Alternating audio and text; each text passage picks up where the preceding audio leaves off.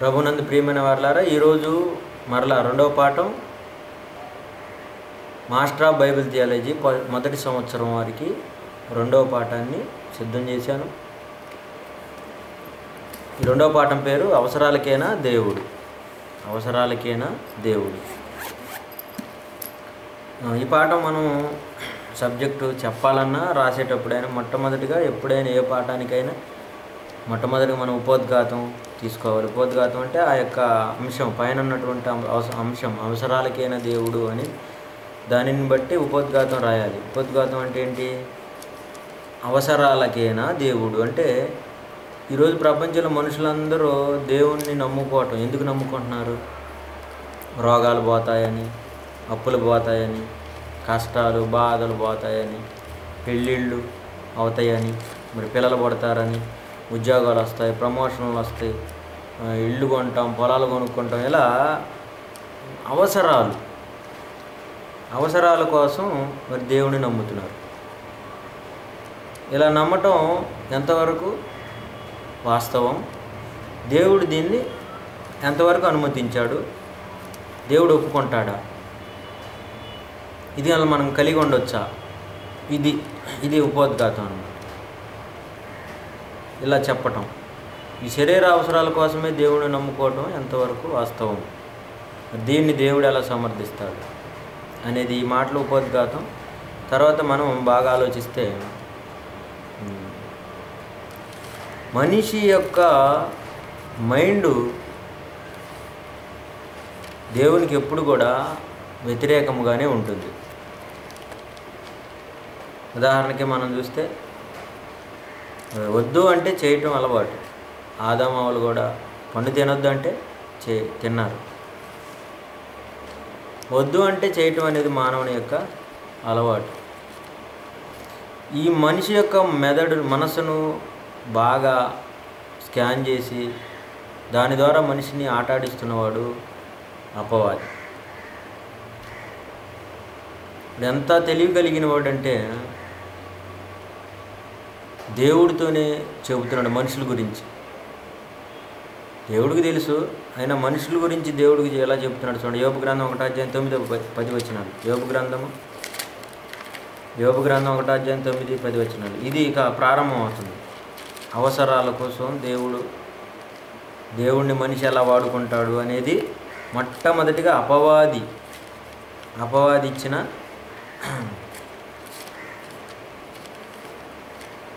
Declaration అనమాట యోగు గ్రంథం ఒకటో అధ్యాయం తొమ్మిదో వచనంలో దేవుడి దగ్గరికి పరలోకంలో దేవుడి దగ్గరికి వెళ్ళి మనుషులు ఎలాంటి వారో చెబుతున్నాడు. చూడండి యోగు గ్రంథం ఒకటో అధ్యాయం తొమ్మిదో వచనం అపవాది యోగు ఓరకయే దేవుని యందు భయభక్తులు కలవాడాయనా? నువ్వు అతనికిని అతని ఇంటి వారికి అతను కలిగిన సమస్తమునకు చుట్టూ కంచె వేసితివి కదా నీవు అతని చేతి పనిని దీవించుచుండుట చేత అతని ఆస్తి దేశంలో బహుగా విస్తరించి ఉన్నది. ఇక్కడ అపవాది ఏం చెప్తున్నాడంటే దేవుడు దీవిస్తూ ఉంటే మనిషి దేవుని ఎందు భయభక్తి భయంగా భక్తిగా ఉంటాడు. అసలు మనిషి దేవుణ్ణి నమ్ముకునేది కూడా అవసరాల కోసమే. దేవుని నుంచి అవసరాలన్నీ తీర్చుకోవటం కోసమే నమ్ముతాడు అని ఇక్కడ యోబు గురించి అలాగే మనుషులందరి గురించి కూడా అపవాది దేవునితో వాదిస్తున్నాడు. ఏమని? ఓరకయే దేవుని యందు భయభక్తులు కలవాడాయన. అంటే ఓరకనే ఎవరు కూడా దేవుడి ఎందు భయ భయము భక్తి కలిగి ఉండరు. లాభం చూసుకుంటారు.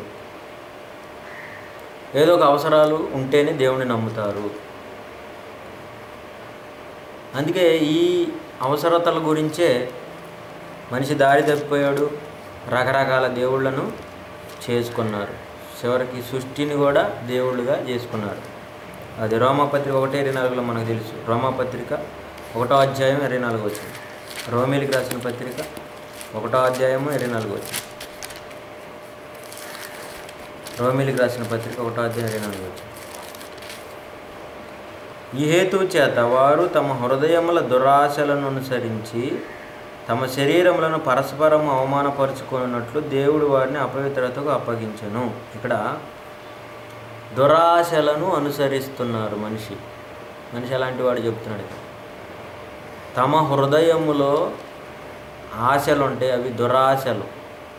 ఎక్కువగా భయంకరమైనటువంటి ఆశలు కలిగి ఉంటారు. తమ హృదయంలో దురాశలు చొప్పున అనుసరిస్తారు కాబట్టి వాళ్ళు ఇరవై ఐదు వచ్చిన వారు దేవుని సత్యమునకు సత్యమును అసత్యమునకు మార్చి సృష్టికర్తకు ప్రతిగా సృష్టమును పూజించి సేవించిరి. సృష్టిని కూడా దేవుడిగా చేసుకున్నారు. రకరకాల దేవుళ్ళని తయారు చేసుకున్నారు. దేని కారణం?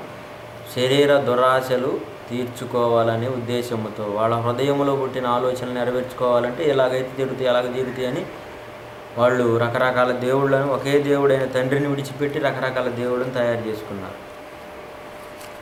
అపోసరుడైన పౌలు బాధ చేస్తున్న కాలంలో కూడా ఆయన ఒకప్పుడు ఏదెన్సు ఏదెన్సు అనే పట్టణంలోకి వెళ్ళాడు. అక్కడ ఉన్నటువంటి వాళ్ళు రకరకాల దేవుళ్ళను పేర్లు చేసి విగ్రహాలకి రాశారు. ఒక్కొక్క విగ్రహం విగ్రహం మీద ఒక దేవుడు. ఒక విగ్రహం ఒక దేవుడు. ఇంకా అన్నీ రాసి ఇంక వాళ్ళ వాళ్ళు ఇంక వచ్చిన ఒక ఆలోచన ఏంటంటే ఇంకా ఎవరైనా మనకు తెలియకుండా ఎవరైనా ఒక దేవుడు ఉంటే ఆ దేవుడు ఇదని ఒక విగ్రహం మీద తెలియబడిన దేవుని కట్టి రాశారు. అది అపోస్తుల కార్యములు పదిహేడు అధ్యాయం ఇరవై రెండు ఇరవై మూడు వచ్చినలో చూస్తే అపోస్తుల కార్యములు పదిహేడు అధ్యాయం ఇరవై రెండు ఇరవై మూడు వచ్చిన పౌలు చెబుతున్నాడు ఏదైనా వారులారా మీరు సమస్త విషయములో లో అతి దేవతా భక్తి గలవారై ఉన్నట్టు నాకు కనబడుచున్నది. నేను సంచరించుచు మీ ప్ర దేవతా ప్రతిమలను చూచుచుండగా ఒక బలిపీఠము నాకు కనబడింది దాని మీద తెలియబడిన దేవునికని వ్రాయబడి ఉన్నది. చూసారా ఒక తెలియబడని దేవుడు అని రాశారు. అంటే దేవుళ్ళు ఎంతోమందిని దేవుళ్ళని చేసుకున్నారు తమ హృదయంలో దురాశలను అనుసరించడానికి ఇంకా ఎవరైనా ఒక దేవుడు మనకు తెలియకుండా ఒకటి దేవుడు ఏమైనా ఉంటే వాడు ఇది అని ఒక విగ్రహానికి పేరు పెట్టాడు. తెలియబడిన దేవుడు. అంటే ఇక్కడ ఏం వాళ్ళ ఉద్దేశం ఏం కనపడుతుంది మనకి?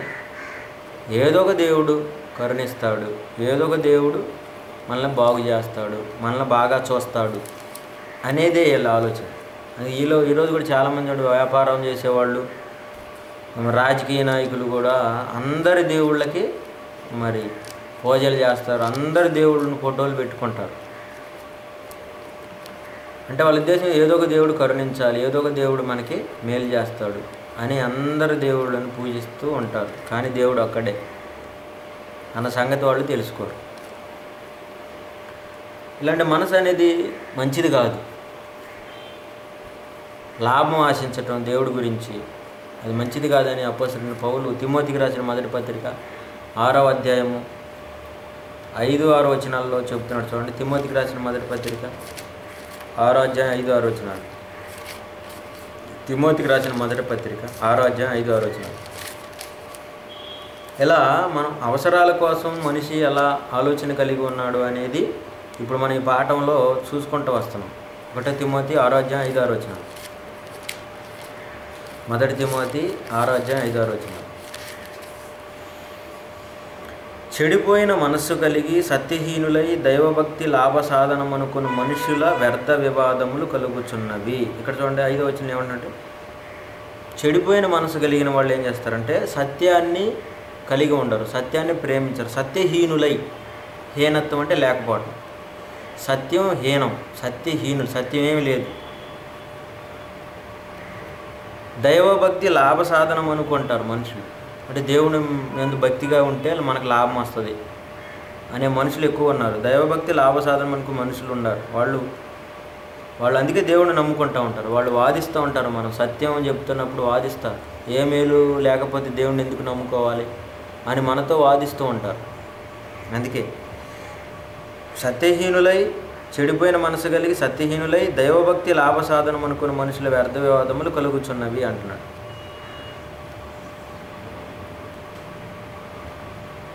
అంటే సత్యహీనులుగా సత్యం అంటే వాక్యం మళ్ళీ వాక్యం లేకపోవటం. అయినా భక్తి ఉంది. అది వారికి లాభ సాధనంగా చూసుకుంటున్నారు. పాత నిబంధన కాలంలో కూడా ఇస్రాయేలీలు ఆకాశరానికి ధూపం పొగవేయటం వలన మా క్షేమం కలుగుతుంది అని చెప్పేసి ఇర్మియా అనేటువంటి ఒక ప్రవక్తతో భక్తుడితో వాదిస్తున్నారు.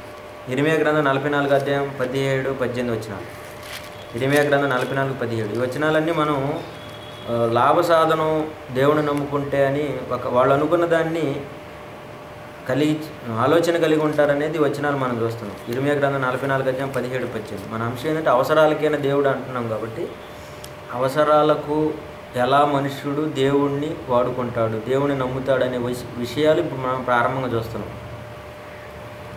ఏది శరీర అవసరాల కోసం? ఇరిమియా గ్రంథం నలభై నాలుగు అధ్యాయం పదిహేడు పద్దెనిమిది వచ్చిన ఇరిమియా గ్రంథం నలభై నాలుగు అధ్యాయం పదిహేడు పద్దెనిమిది వచ్చినాల్లో మనం చూస్తే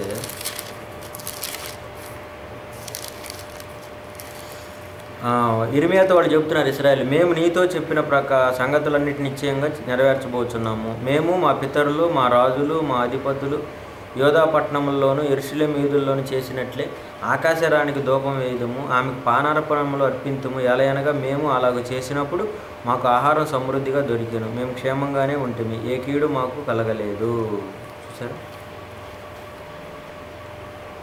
మేము ఆకాశపు రాణి ఆకాశం అనేది ఒక రాణిగా దేవుడిగా పూజిస్తున్నారు చూడండి ఆకాశపు రాణి అంటే. ఆకాశ రాణికి దూపం వేయటం వలన మాకు క్షేమం కలిగింది. ఎప్పుడైతే మేము దూపం వేయలేదో మాకు క్షేమం కలగలేదు మాకు కీడు వచ్చిందని చెప్పేసి అంటున్నారు. కానీ వచ్చింది కీడు దేవుడు వల్ల. మనం చదివాం ఇలా మొట్టమొదటిలో వచ్చినాము దేవుడు ప్రేమయుడు అనే పాఠంలో విలాపాలు మూడు ముప్పై ఎనిమిదిలో మనం చదివాం. దేవుడి నోటి నుండి కీడు మేలు బయలువెళ్తాయి కీడు కూడా వచ్చింది ఆయన నుండి. ఇస్రాయిలీలు ఆయన మాట వినకపోవడంలో కీడులో పడ్డారు. కానీ వాళ్ళు ఏమనుకున్నారు? మేము ఆకాశరానికి దూపం వేయలేదు కాబట్టి కీడు వచ్చింది అనుకుంటున్నారు బబులోని చెరలోకి వెళ్ళామనుకుంటున్నారు. కానీ దేవుని మాట వినకపోవటం వల్ల బబులోని చెరకు వెళ్ళారు. ముందు దేవుడు చెప్పిన మాట వినలేదు వాళ్ళు. ఇప్పుడేమంటున్నారు మేము ఆకాశరానికి దూపం వేయలేదు కాబట్టి కీడు వచ్చింది అంటున్నారు. అంటే దూపం వేస్తే మాకు మేలు కలిగేది అని అటు వాదిస్తున్నారు. అంటే లాభం దేవుడు దేవుడు నమ్ముకుంటే లాభం ఉండాలి కానీ కేవలం కీడు కలగకూడదు అనేది వాళ్ళ ఉద్దేశం. అలాగే అపోస్తుల కాలంలో కూడా కొత్త నిబంధనలో అపోస్తుల కార్యం పంతొమ్మిది అధ్యాయం ఇరవై నాలుగు ఇరవై ఆరు వచ్చినారు. అపోస్తుల కార్యంలో పంతొమ్మిది అధ్యాయం ఇరవై నాలుగు ఇరవై ఆరు వచ్చినారు ఈ మాటలన్నీ దైవభక్తి లాభ సాధనం అనుకోను మనుషుల యొక్క ఆలోచన మనం చూస్తున్నాం. అపోస్తుల కార్యం పంతొమ్మిది అధ్యాయం నాలుగు వచ్చాం దేమేత్రి ఎలయనగా దేమేత్రి అని ఒక కంసాలి అర్తమీదేవికి వెండి గొళ్ళను చేయించటం వలన ఆ పని వారికి మిగుల లాభం కలుగు చేయించుండెను. దేవుడి యొక్క బొమ్మలో దేమేత్రి అని కంసాలి అస్- అర్తమీదేవికి వెండితో గుడులు చేస్తున్నాడు. వెండితో గుడులు గుడులు చేస్తూ గుడి గుడి గుడి కట్టడం అట్లా చేయటం వల్ల మిగుల లాభము ఆ పని. ఆ పని మిగుల లాభంగా చూసుకుంటున్నాడు. కనుక అపోసరైన పౌలు వెళ్ళి అవన్నీ వ్యర్థమని చెప్పేసేసరికి కొంతమంది అటు తిరుగుతున్నారని మన లాభ సాధనం పోయిందని బాధపడుతున్నాడు.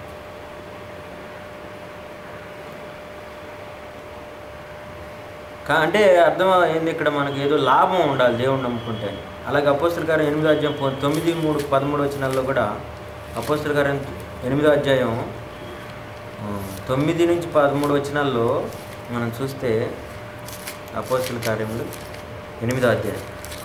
మీరు చాలా జాగ్రత్తగా రెఫరెన్స్లు అనేవి మరి బాగా రాసుకోవాలి. ఎందుకంటే రెఫరెన్స్ కూడా రాయాలి. వచ్చినము రెఫరెన్స్ నెంబర్ వేయటమే కాకుండా ఆ యొక్క పదాన్ని కూడా వాక్యాన్ని కూడా రాస్తేనే మార్కులు పడతాయి పరీక్షలో. అపస్తుల కార్యములు ఎనిమిదో అధ్యాయం తొమ్మిది నుంచి పదమూడు వచ్చినాల్లో అలా సీమోనని ఒక మనుషుడు లోగడ ఆ పట్టణంలో గరడీ చేయొచ్చు తానెడో ఒక తానెవడో ఒక గొప్పవాడిని చెప్పుకొంచు సమరజనులు నిభ్రాంతి పరుచుచూ ఉండెను. కొద్దివాడు మొదలుకొని గొప్పవాని మట్టుకు అందరూ దేవుని మహాశక్తి అనబడిన వాడు ఇతడే అని చెప్పుకొని అతన్ని లక్ష్య పెట్టేది అతడు బహుకాలం గారడీలు చేయొచ్చు వారిని నిభ్రాంతి పరిచినందున వారు అతను లక్ష్య పెట్టేది అలా గారడీలు చేస్తూ ప్రజల్ని గొప్పగా అద్భుతపరుస్తున్నాడు ఆశ్చర్యపరుస్తున్నాడు. కానీ పిలుపు వచ్చి దేవుని మాటలు చెబుతూ ఆయన చేసిన అద్భుతాలు చూసేసరికి ఈ గారడేవాడు సీమోన్ చేసేవన్నీ అబద్ధాలని అర్థమయ్యి ఈ పిలుపులాగా అద్భుతాలు స్వచ్ఛక్రియలు చేయాలనుకున్నాడు. ఇది చేయాలంటే అపోస్తుల చేతులు ఉంచితేనే ఇలా వస్తాడు పరిశుద్ధాత్మ శక్తి వచ్చి వీళ్ళు అద్భుతాలు చేస్తారనేది గారడేవాడని సీమోన్ గమనించి ఏం చేశాడు? అపోస్తుల దగ్గర డబ్బులు పెడుతున్నాడు చూడండి. పదమూడవ వచ్చిన ఇక్కడ చూస్తే పద్దెనిమిదవ వచ్చినంలో అపోస్తులు చేతులుంచడం వలన పరిశుద్ధాత్మ అనుగ్రహింపబడిన సీమోను చూచి వారి ఎదుట ద్రవ్యం పెట్టి నేను ఎవరి మీద చేతులు ఉంచుతున్న వాడు పరిశుద్ధాత్మను పొందినట్టు అధికారం నాకు ఈడని అడిగాను. ఇదా? ఇక్కడ ప్రజలకు ఏదో మేలు ఏదో అద్భుతాలు చేసినట్టుగా చూపిస్తూ మరి తాను అబద్ధమైన అర్థమైన తర్వాత పరిశుద్ధాత్మ శక్తి ద్వారా జరిగే నిజమైన కార్యక్రమాలుతో మళ్ళీ మనుషుల్ని ఆకట్టుకోవాలనుకున్నాడు సీమోన్. అందుకే డబ్బు పెట్టాడు. డబ్బు పెట్టి నాకు కూడా మరి నేను కూడా ఎవరి మీద చేతులు ఉంచితే వాళ్ళు పరిశుద్ధాత్మను పొందేటట్టు నాకు అనుగ్రహించమని డబ్బులు పెట్టి కొనుక్కోవాలనుకున్నాడు. అది మంచిది కాదు కానీ అలా రాదని అపోస్తులు చెప్పడం జరిగింది. నీ మనసు చెడిపోయిందయా అలాగూ చెడిపోయిన మనసు కలిగి ఏమంటున్నారు చూడండి అక్కడ. ఈ ఇరవై ఒకటో నీ హృదయం దేవుని ఎదురు సరైనది కాదు కనుక ఈ కార్యం నీకు పాలు పంపులు లేవన్నాడు అంటే హృదయం చెడిపోయి లాభ సాధనంగా దేవుడు అంటే లాభ సాధనంగా దైవభక్తి అంటే లాభ సాధనం అనుకుంటున్నాడు. అది చెడిపోయిన మనసు. మనం మొదటిగా చదువుకున్నాం. మొదటి తిమ్మతి ఆరులోని చెడిపోయిన మనసు కలిగిన వారు సత్యహీనులు అయిపోతారు దైవభక్తి లాభ సాధనం అనుకోను వాదిస్తారని మనం మొదట్లో చదివాం. కాబట్టి మనుషులు చెడిపోయారు.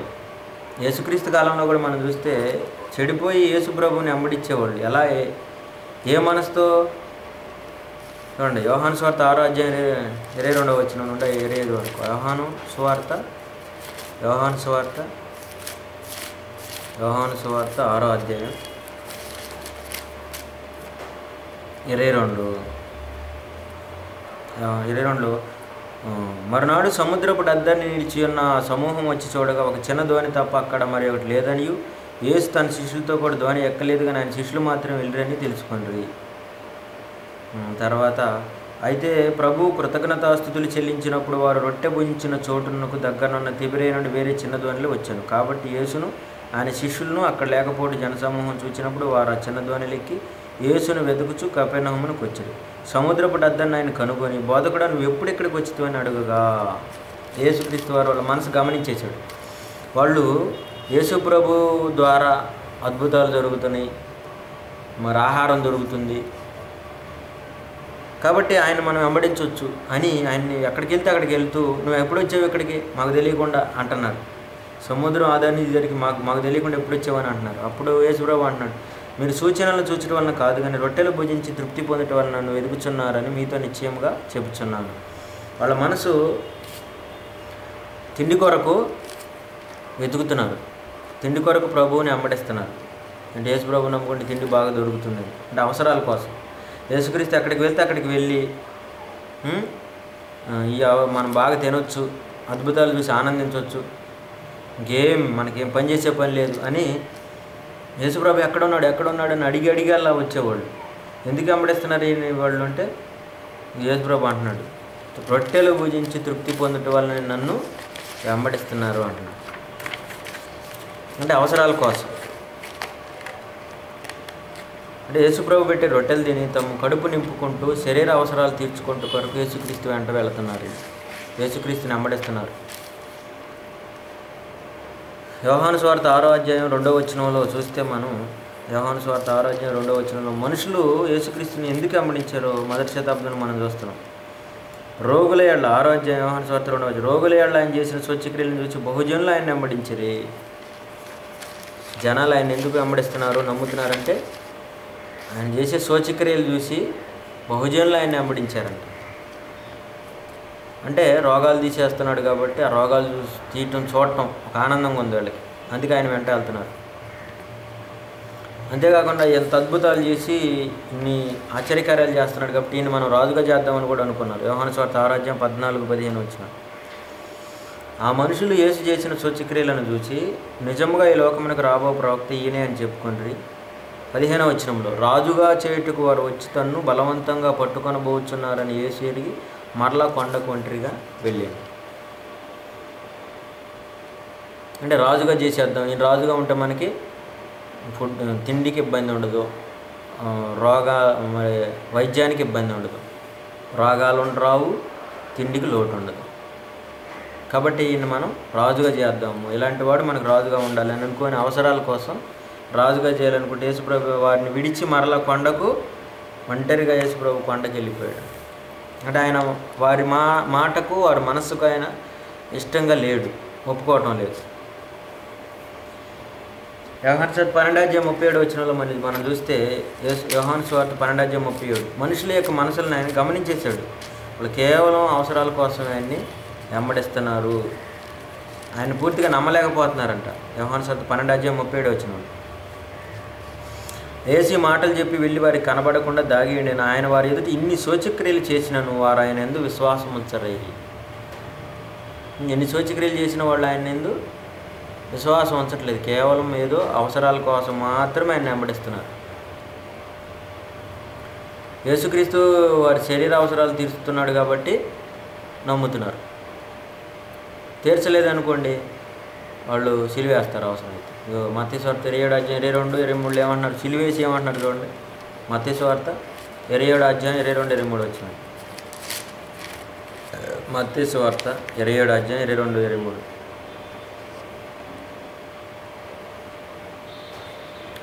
అందుకు పిల్లలతో అలాగైతే క్రీస్తు అనుబడి మత్స్వార్త ఇరవై ఏడు అధ్యాయంలో నలభై క్షమించి నలభై మూడవ వచ్చిన వాడు దేవుని యందు నలభై రెండు వీడు ఇతరులను రక్షించాను తను తాను రక్షించుకొనలేడు. ఇస్రాయేల్ రాజు కదా ఇప్పుడు సిలువ మీద వాడు దిగి వాడిని నమ్ముదు. వాడు దేవుని ఎందు విశ్వాసం ఉంచాను నేను దేవుని కుమారుడు అని చెప్పాను కనుక ఆయనకి ఇష్టడైతే ఆయన ఇప్పుడు వాడిని తప్పించునని చెప్పేది. ఆయనతో కూడా సిలువ వేయబడిన దొంగలు అలాగే ఆయన నిందించారు. చూడండి ఇక్కడ మనుషులు అప్పటి యేసుప్రభు కాలంలో ఆయన చేసిన అద్భుతాలు చూసి ఆయన పెట్టిన ఆహారాన్ని తిని అంత గొప్పగా అనుకున్న వాళ్ళు కూడా సిలువ మీద ఉన్నప్పుడు ఏమంటున్నారంటే నువ్వు సిలువ మీద నుండి ఇప్పుడు నిన్ను రక్షించుకో మేము నమ్ముతాం అంటున్నారు. సిలువ మీద నుండి దిగురా అప్పుడు మేము నిన్ను నమ్ముతాం అంటున్నారు. ఈరోజు హేతువాదులు కూడా అంతే. యేసు ప్రభు సిలువ మీదే తను తను రక్షించుకొని లేనివాడు మనల్ని ఎలా రక్షిస్తాడు అంటున్నారు. కానీ అది ఆయన అక్కడ సిలువ మీద ఉండటం వల్లనే మనకు రక్షణ. మళ్ళీ చనిపి తిరిగి ము- లేచాడు. గొప్పది. వాడు మనకు రక్షణ దయచేస్తున్నాడు ఆయన మృత్యుంజయుడని చావులేనివాడని నిరూపిస్తున్నాడు మళ్ళా. అది ఆయన అద్భుతం. మనం అనుకున్నట్టు కుదరదు. కాబట్టి వీళ్ళు ఏమన్నారంటే అద్భుతం చేయాలని అంటున్నారు. సులువు మీద ఉండి దిగిరా అప్పుడు నేను మిమ్మల్ని మేము నిన్ను నమ్ముతాం అంటున్నారు. అంటే అవసరాల కోసం ఎలా? కాబట్టి ఏమి తిందాం ఏమి త్రాగుదాం ఏమి ధరించుకుందాం అనే చింత మనుషులు కలిగి ఉంటారు కాబట్టి తన నమ్మిన వాళ్ళకి ముందుగానే ఆయన చెప్తున్నాడు చూడండి. మత్తయి సువార్త ఆరో అధ్యాయం ముప్పై ఒకటో వచ్చిన మత్తయి సువార్త ఆరో అధ్యాయం ముప్పై ఒకటో వచ్చిన మత్తయి సువార్త ఆరు ముప్పై ఒకటి. కాబట్టి ఏమి తిందుమో ఏమి తరిగించుకుందమో ఏమి త్రాగుదమో అని చింతింపకుడి అన్ని జనులు వీటన్నిటి విషయమే విచారిస్తారు. ఇవన్నీ మీకు కావాలని మీ పరలోకపు తండ్రికి తెలియను కాబట్టి మీరు ఆయన రాజ్యమును నీతిని మొదటి వెడతుకుడి అప్పుడు అవన్నీ మీకు అనుగ్రహింపబడును. ఇక్కడ మీరు తిండి కోసము వస్త్రాల కోసం శరీర అవసరతల కోసం చింతపడి చింతపడి దేవుని చెంత వద్దకు చెంతకు రాకండి. అని చెబుతున్నాడు. ఇవి మీకు కావాలని మీ దేవుడికి తెలుసు కాబట్టి మీరు మీకు కావలసిన వాటిని ఆయన ఇస్తాడు. మీరు ఆయన నీతిని వెతకండి ఆయన రాజ్యం వెతకండి అన్నాడు. అంటే ఇక్కడ మనిషికి అవసరమైంది ఏదో చెబుతున్నాడు. తిండి వస్త్రము ఇంకా భూమి మీద మనకు అవసరాలు మనకు కావాలని ఆయనకి తెలుసు ఆయన ఇస్తున్నాడు. వాటిని మనం అడగకూడదు. వాటి కోసం వెతకూడదు అవసరాల కోసం దేవుడిని నమ్మకూడదు. మరి దేనికి నమ్మాలి అంటే దేవుడు ఆయన రాజ్యమును నీతిని మొదట వెదుకుడి. ఇప్పుడు అవసరాలకైనా దేవుడు అనే దాంట్లో ఏ అవసరం కోసం నమ్మకూడదు దేవుడిని ఏ అవసరత కోసం నమ్మాలో అని చెప్తుంది. ఏ అవసరం కోసం ఏ అవసరత కోసం నమ్మకూడదు ఇప్పటి వరకు చెప్పాం. ఇప్పటివరకు మనం చదువుకొని వచ్చినాలన్నీ శరీర అవసరాల కోసం తిండి కోసము ఆరోగ్యం కోసము ఇంకా భౌతిక శరీర సుఖాల కోసము దేవుని నమ్మకూడదని ఇప్పుడు వచ్చినాలన్నీ మనం చూసాం ఇంక ఇప్పుడు చూడొచ్చే వచనాలు ఏంటంటే ఆయనను ఏ అవసరం కోసం నమ్మాలో చెబుతున్నాడు. ఏ అవసరం అది? ఆత్మీయ అవసరం ఆత్మరక్షణ. ఆయన రాజ్యమును నీతిని వెదకండి. ఆయన రాజ్యం అనేది నీతి రాజ్యం. యుగయుగాలు మనకు చావులేని పరలోకపు రాజ్యం. నీతి సమాధానం పరిశుద్ధాత్మయందుల ఆనందం. వాటిని వెదకండి అంటున్నాడు. వాటి కోసం మీరు వెంబడించండి దేవుణ్ణి. వాటి కోసం దేవుణ్ణి నమ్మండి. ఎందుకంటే ఆత్మయే జీవింపజేస్తుంది. శరీరము కేవలం నిష్ప్రయోజనం కాబట్టి. ఆత్మకు అవసరమైనటువంటి ఈ వాక్యమును ఆత్మకు అవసరమైనటువంటి సత్యమును మీరు స్వీకరించండి. అలాగే లోకస్వార్థ పదో అధ్యాయంలో ముప్పై ఎనిమిది వచ్చిన నుండి నలభై రెండులో ఒక సంఘటన మనం చూస్తాం. లోకస్వార్థ ఇప్పుడు చదువుతున్న వచ్చినాలన్నీ మనం అవసరమైన దేవుణ్ణి ఎందుకు నమ్మాలో నిజమైన అవసరత అనమాట ఇది. లోకస్వార్థ పదో అధ్యాయం ముప్పై ఎనిమిది నుండి. మరియా మార్తల దగ్గరికి ఒకసారి యేసు ప్రభు మరి వెళ్ళినప్పుడు బోధించడానికి వెళ్ళినప్పుడు మార్త విస్తారమైన పని పెట్టుకుంది. మరి అయితే యేసుప్రభు పాదాల దగ్గర ఉండి ఆయన చెప్పే దేవు మాటలో దేవుని వాక్యం వింటుంది. మార్త మధ్యలో వచ్చి నిన్ను పనులన్నీ పెట్టుకున్నాను నేను విస్తారమైన పనులు పెట్టుకున్నాను కదా మరేని కూడా వచ్చి సహాయం చేయమని యేసుప్రభుని అడుగుతుంది. అప్పుడు యేసుప్రభు అంటున్నాడు నలభై ఒకటి వచ్చిన అందుకు ప్రభు మార్తా మార్తా నీవు అనేకమైన పనులను గురించి విచారం కలిగి తొందరపడుచున్నావు కానీ అవసరమైనది ఒక్కటే. మరియా ఉత్తమమైన దానిని ఏర్పరచుకొనేను అది ఆమె యొద్ద నుండి తీసివేయబడదని ఆమెతో చెప్పాడు. మరి ఏమి ఏమి ఏర్పాటు చేసుకుంది? ఆయన పాదాల దగ్గర కూర్చొని ఆయన మాటలు వింటుంది. ఎందుకంటే యేసుప్రభు వారు మరి వెళితే మళ్ళీ రాడు. కాబట్టి ఆయన ఉన్నప్పుడే ఆ కాలం అంతా ఆయన మాటలు వినాలి మనం అని మరియమ్మ మంచి ఆలోచనతో మరియ మంచి ఆలోచనతో ఉంది. మారత అయితే ఆయనకి మంచి ఆహారం పెట్టి ఆయన సంతోషపరచాలని చూస్తుంది. మరి అయితే ఆయన వాక్యం వినాలని ఆలోచిస్తున్నాను వీరిద్దరిలో యేసుప్రభు మరియను ఎన్నుకో మరి గొప్పగా చేశాడు. మరియ ఉత్తమమైన దానిని ఏర్పరచుకుంది. మార్త అయితే ఉత్తదాన్ని ఏర్పరచుకుంది అని చెబుతున్నాడు. అనేకమైన పనులు విస్తారమైన పనులు అవి ఉత్తవి. వాక్యమే ఉత్తమమైనది. మరీ ఉత్తమమైన దాన్ని ఏర్పరచుకుని అది ఆమె యొద్ద నుండి తీసివేయబడదని ఆమెతో చెప్పింది. మనం ఏదైతే ఉత్తమమైన దాన్ని ఏర్పరచుకుంటామో అది మనతో ఉంటుంది. అది మనల్ని పరలోకానికి చేరుస్తుంది అది అవసరత. ఆ అవసరత కోసం మనం ప్రభువుని నమ్మాలి ఆయన పాదాల దగ్గర ఉండాలి ఆయన్ని వెంబడించాలి ఆయన పరిచర్య చేయాలి. ఇది ఈ అవసరం కోసం దేవుడిని నమ్మాలి. ఇంకా అలాగే అప్పస్తుడిని పౌలు గారు కూడా చూడండి పిలిపి పత్రిక మూడో అధ్యాయం ఏడు నుంచి ఎనిమిది వచ్చినాడు. పిలిపి పత్రిక పిలిపి పత్రిక మూడో అధ్యాయం ఏడు నుంచి ఎనిమిది వచ్చినాడు. అయినను ఏవేవి నాకు లాభకరములై ఉండేనో వాటిని క్రీస్తు నిమిత్తం నష్టముగా ఎంచుకుంటుని. నిశ్చయముగా మన నా ప్రభు అయిన యేసుక్రీస్తుని గురించిన అతిశ్రేష్టమైన జ్ఞానం నిమిత్తమై సమస్తమును నష్టముగా ఎంచుకొనుచున్నాను. క్రీస్తుని సంపాదించుకొని చూడండి ఇక్కడ. ఇక్కడ క్రీస్తుని సంపాదించుకోవడం క్రీస్తు అంటే వాక్యం క్రీస్తు అంటే జ్ఞానం. వాక్యం అనే జ్ఞానం వాక్యం అనే సంపద. ఆ సంపదను సంపాదించుకోవటానికి పౌలు గారు సమస్తాన్ని నష్టపరుచుకున్నాడు సమస్తాన్ని పెంటతో ఎంచుకున్నాడు. అంటే ఇది అవసరమైందనమాట తనకున్నటువంటి అవ లాభకరములైన వాటన్నిటిని వదిలిపెడుతున్నాడు. వాటి కోసం దేవుని నమ్మలేదు. వాటిని విడిచిపెడుతున్నాడు. లాభకరములుగా ఉన్న వాటన్నిటిని విడిచిపెట్టి క్రీస్తు జ్ఞానం సంపాదించుకోవటానికి అతిశ్రేష్టమైన క్రీస్తు జ్ఞానాన్ని సంపాదించుకోవటానికి సమస్తమును నష్టముగా ఎంచుకుంటున్నాడు. ఇది అవసరం. ఈ అవసరత కోసం దేవుడిని నమ్మాలి. అలాగే సామెతలు నాలుగో ఏడు వచ్చినంలో కూడా ముందే దేవుడు మనకు రాయించాడు. సులమోన్ జ్ఞాని ద్వారా దేవుడు అద్భుతాన్ని చెప్పాడు. సామెతలు నాలుగు ఏడు. జ్ఞానం సంపాదించుకొనుటే జ్ఞానమునకు ముఖ్యాంశము. నీ సంపాదన అంతా ఇచ్చి బుద్ధి సంపాదించుకును నీ సంపాదన అంతా ఇచ్చి బుద్ధి సంపాదించుకొనుము చూడు. లోకంలో సంపదలన్నీ కూడా లోకంలోని అవన్నీ కూడా దేవుని వాక్యం కంటే గొప్పవి కాదు. కాబట్టి దీన్ని సంపాదించుకోవాలి? వాటిని ఇచ్చి దీన్ని సంపాదించుకోవాలి ఇది అవసరం మనిషికి. దేవుణ్ణి నమ్మటానికి మనిషికి అవసరమైంది ఏంటంటే బుద్ధి సంపాదించుకోవాలి. బుద్ధి జ్ఞానంలో సర్వ సంపదలు క్రీస్తునందు గుప్తములై ఉన్నవి. కాబట్టి యేసుక్రీస్తు వాక్యము ఇదంతా కూడా మనకి అవసరం. అరవై ఆరు పుస్తకాల బైబిల్ జ్ఞానము దేవుడు మనకి ఇచ్చాడు కాబట్టి దీన్ని సంపాదించుకోవాలి. అందుకొరకే మరి ఆ మొదటి శతాబ్దంలో విశ్వాసులు తమ చర స్థిరాస్తులు అమ్మారు. మొత్తాన్ని అపోస్తుల దగ్గర పాదాల దగ్గర పెట్టారు. వాళ్ళు మొదటి శతాబ్దం క్రైస్తవులు. కాబట్టి మనం కూడా దేవుని జ్ఞానాన్ని వెతకాలి. దేవుని జ్ఞానాన్ని వెతికితే మనకు కావలసిన అన్నవస్త్రాలు ఇంకా ఏమైనా అన్నిటిని దేవుడు ఇస్తాడు. వాటిని అడగకూడదు వాటి కోసం వెతకూడదు వాటి కోసం దేవుడిని నమ్మకూడదు.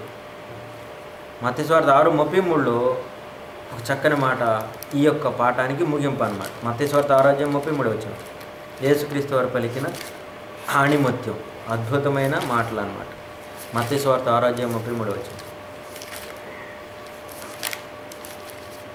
మత్స్వార్థ ఆరోగ్యం ముప్పై మూడు వచ్చింది కాబట్టి మీరు ఆయన రాజ్యమును నీతిని మొదట వెతుకుడి అప్పుడు అవన్నీ మీకు అనుగ్రహింపబడును. ఆయన రాజ్యమును నీతిని మొదట వెతుకుడు అప్పుడు అవన్నీ మీకు అనుగ్రహించబడు. అంటే ఆయన రాజ్యము నీతి ఇవన్నీ కూడా మనం వాక్యములో నేర్చుకుంటాం. ఆయన రాజ్యం అంటే నీతి సమాధానం పరిశుద్ధాత్మ అందలి ఆనందం. నీతిగా బతకటం. అవి ఎదగాలి మనం. అప్పుడు అవన్నీ మనకు అనుగ్రహించబడతాయి. కాబట్టి యేసుక్రీస్తు వారు ఈ లోకంలో ఉన్నప్పుడు శరీర అవసరాల కోసం దేవుని నమ్మలేదు కానీ తాను ఈ శరీరంలో దేవునికి ఇష్టంగా ఉండటానికి దేవుని పని పూర్తి చేయటానికి సంపూర్ణ యాగంగా ఈ శరీరాన్ని సమర్పించటానికే ఆయన దేవుని ఎందు భయభక్తులు కలిగిన వాడే అంగీకరింపబడ్డాడు. శిలువలో మన కొరకు చనిపోయాడు సమాజపడి తిరిగి లేచి తండ్రి కుడి పర్సన్ కూర్చున్నాడు. కాబట్టి మనం అవసరాల కోసం దేవుణ్ణి నమ్మకుండా అనంతమైన నిత్య జీవము కొరకు మన ప్రాణం ఇచ్చైనా సరే అంత భక్తి కలిగి ఉండాలి. ఆ అవసరత కోసమే దేవుణ్ణి నమ్మాలి. ఇది సంతుష్టి సహితమైన దైవభక్తి అన్నాడు. మొదటి తిమోతి ఐదో అధ్యాయం ఏడు వచ్చినప్పుడు ఆరో వచనంలో మొదటి తిమోతి ఆరో అధ్యాయం ఆరు ఏడు వచనాల్లో ఉంటుంది. సంతుష్టి సహితమైన దైవభక్తి గొప్ప లాభ సాధనమై ఉన్నది ఈరోజు మనుషులు కలిగి ఉన్న దైవభక్తి అయితే చెడిపోయిన మనస్సు లో లోక సంబంధమైన లాభాల కోసం నశించిపోయే లాభం కోసం ఎదురు చూస్తున్నారు అలాంటివి మనం కలిగి ఉండకూడదు. ఇది పాఠం. ఇంతటిది పాఠం ముగించకూడదు